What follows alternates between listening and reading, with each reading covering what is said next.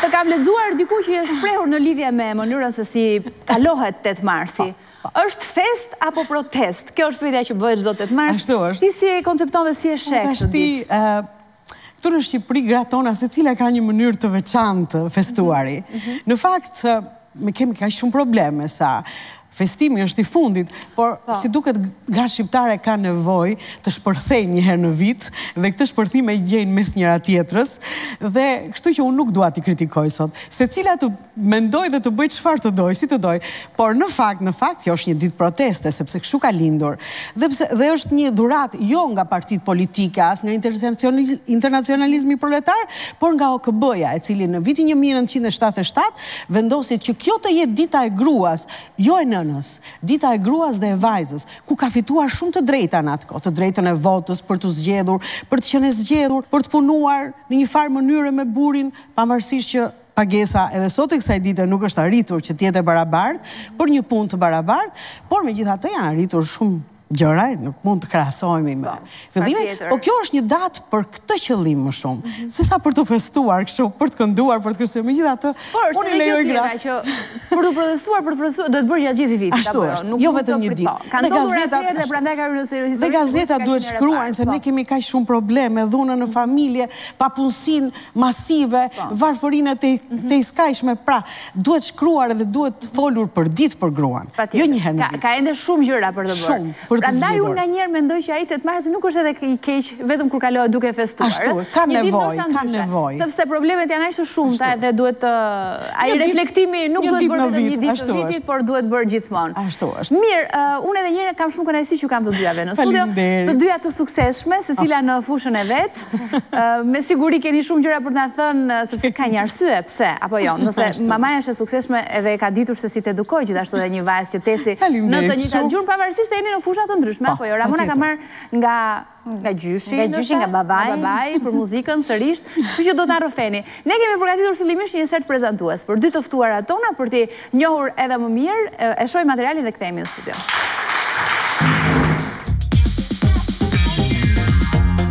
Ajo është një grua e suksesshme në aspektin profesional, por dhe në aspektin personal, e cila ka rritur gjithashtu një vajzë po aq të suksesshme. Rajna Kovaçi, trashëgimtarja e artistit të madh, baritonit Ramiz Kovaçi, Është e njohur për publikun si përkthyese dhe botuese, si dhe analiste e çështjeve sociale, ku përmes shkrimeve të saj, herë pas here sjell tema të ndryshme në vëmendjen sociale. Ndërsa Ramona Tullumani, e bija, është një nga sopranot më të spikatura të Teatrit Kombëtar, të Operas dhe Baletit. Ramona ka spikatur me interpretimet e saj, duke bërë një emër i njohur jo vetëm në skenat operistike në Shqipëri, por edhe jashtë.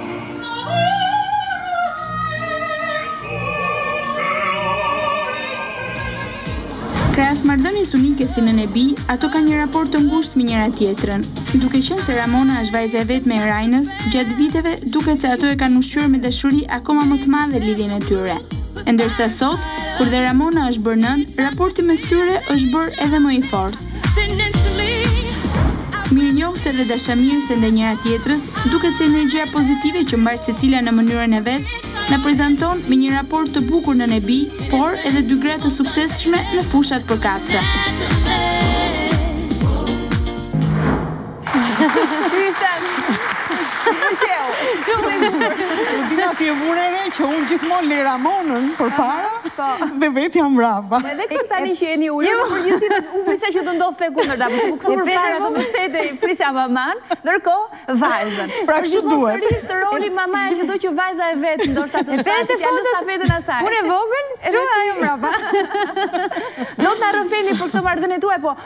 Raina më trego pak, si ka qenë, ti ke qenë një grua që je dedikuar gjithmonë punës, shumë e interesuar për punën për të pasur sukses në karrierë. Nga ana tjetër, një bashkëshorte dhe mamaja e e Ramonës. Sa e vështirë apo sa e lehtë, më rrëfe si është ka qenë përjetimi yt gjatë gjithë kësaj, gjatë gjithë këtyre viteve, për të qenë e suksesshme në të dyja fushat? Nuk është e lehtë, por mhm. unë kam mamanë që më ndihmon jashtëzakonisht që kam pas krah dhe burri që më ka kuptuar, eh, është kryesorja, mhm. bashkëshorti, që të më kuptojë dhe më ka lënë të lirë për punët e mia, për të gjitha këto dëshira dhe detyra që kam dashur t'i bëj dhe që i kam kryer. Mhm. A, tash e mira nuk ka fund, po unë gjithmonë Mendoj që e mesmja është e artë gjithmonë. Dhe nga e mesmja mund të hipësh shkallë-shkallë, mhm. kështu që avash-avash njeriu do ta gjejë vendin e vet, aty ku don. Por duke qenë edhe Ramona një vajzë, kjo është një fat shumë i madh, nënat që kemi vajzë, a jemi shumë me fat. Ti ke dashur vajzë që në të timë Ramona, po, në? Po, unë jam nënë që kur e kam lindur, kam qeshur dhe jam lumturuar, të gjitha nënat qanin, sepse ne bënim lindje natyrale në atë kohë, po. dhe unë isha njeriu më i lumtur në botë që kisha bërë një vajzë. Mhm.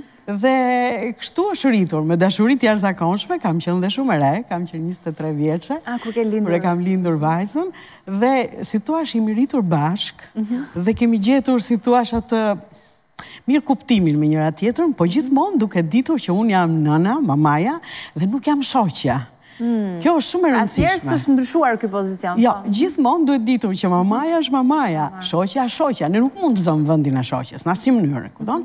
Por ama duhet të kemi bashkëpunim dhe duhet t'i japim ato, sepse brezi i ri ndryshon shumë nga mhm. brezi im, dhe kështu që këshillat si të thuash, duhet të jepen në mënyrë shumë të natyrshme, do thosha, mhm. dhe jo në mënyrë urdhëruse, siç po. mund të ketë qenë njëherë e një kohë, po te familja ime nuk ka ekzistuar kurrë kjo mënyrë kështu urdhërore. Mhm. e edukatës sepse unë e kam pas dhe nënën të huaj dhe kam nënën të huaj dhe ka pas një mënyrë tjetër edukate.